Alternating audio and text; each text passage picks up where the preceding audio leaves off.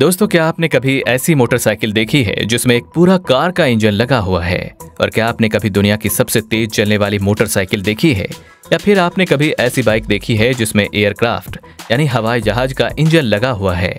अगर नहीं तो आज का ये हमारा वीडियो आपको ज़रूर देखना चाहिए, जिसमें आज हम आपको पाँच ऐसी कस्टम मेड बाइक दिखाने वाले हैं, जिन्हें इस तरह से मॉडिफाई किया गया है, जिसे देखने के बाद आपको यकीन नहीं होगा कि ऐसी भी बाइक इस दुनिया में हो सकती है।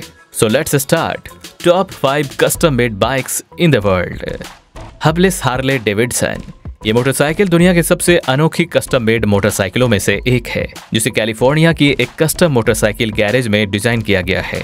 इस मोटरसाइकिल को दो चीज़ सबसे अलग बनाती है। वो है इसका हबलेस टायर ये हबलेस व्हील इस मोटरसाइकिल को सबसे अलग लुक और यूनिक डिज़ाइन देता है। ये मोटरसाइकिल किसी हॉलीवुड मूवी में दिखाई जाने वाली सुपर बाइक की तरह लगती है। अपने इसी लुक के कारण ये जहाँ भी जाती है, लोगों का ध्यान अपनी ओर आकर्षित करती है। हबलिस डिज़ाइन के अलावा इस मोटरसाइकिल में सिलिक चॉपर स्टाइल भी है।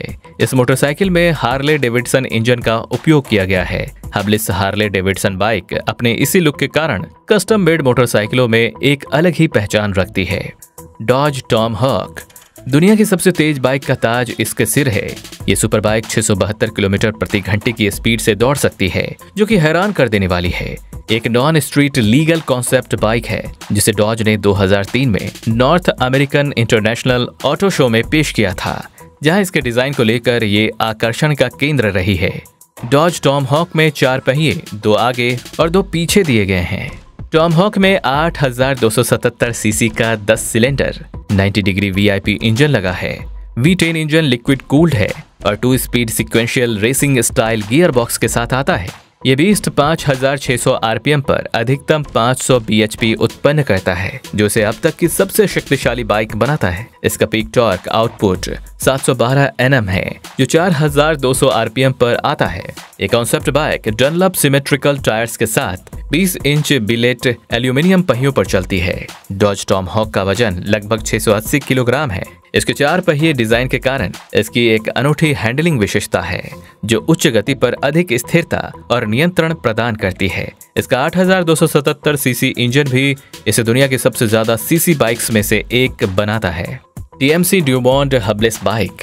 इस मोटरसाइकिल को ब्राज़ील के पूर्व F1 ड्राइवर टार्सो मार्केस ने डिज़ाइन किया था।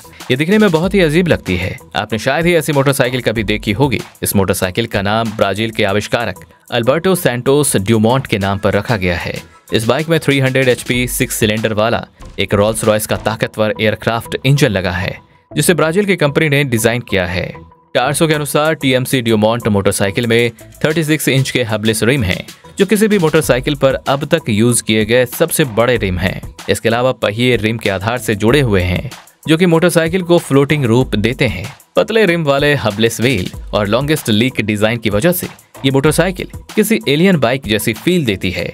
इस बाइक को रियल लाइफ में देखना काफ़ी अमेजिंग एक्सपीरियंस होगा। लेकिन अपने नाजुक डिज़ाइन की वजह से ये मोटरसाइकिल अपनी मैक्सिमम पावर को यूज़ नहीं कर सकती है। इस बाइक को टारसो मार्केस ने अपने रेसिंग करियर से रिटायर होने के बाद, कई सालों तक कड़ी मेहनत के बाद इस यूनिक डिज़ाइन वाली मोटरसाइकिल को बनाया था। ट्रॉन बाइक ये बाइक भी एक कस्टम मेड बाइक है। ट्रॉन मोटरसाइकिल को कलाकार डेनियल साइमन द्वारा डिज़ाइन किया गया था, जिन्होंने पार्कर ब्रदर्स कॉन्सेप्ट को अपना ब्लूप्रिंट सौंप दिया था। बाद में इसे पार्कर्स ब्रदर्स ने बनाया था। पार्कर ब्रदर्स को इस बाइक को बनाने का आइडिया ट्रॉन मूवी से देख कर आया था, क्योंकि ट्रॉन मूवी में इस तरह की बाइक को दिखाया गया था। इस बाइक में हबलेस टायर लगे हुए हैं, और इन टायरों में एलईडी लाइट्स को लगाया गया है, जो इसे एक शानदार लुक देती है। ये बाइक कुछ ही समय में 160 किलोमीटर की रफ्तार पकड़ लेती है आपको बता दें कि ये इलेक्ट्रिक बाइक है। इसलिए इसमें इलेक्ट्रिक बाइक इंजन लगाया गया है।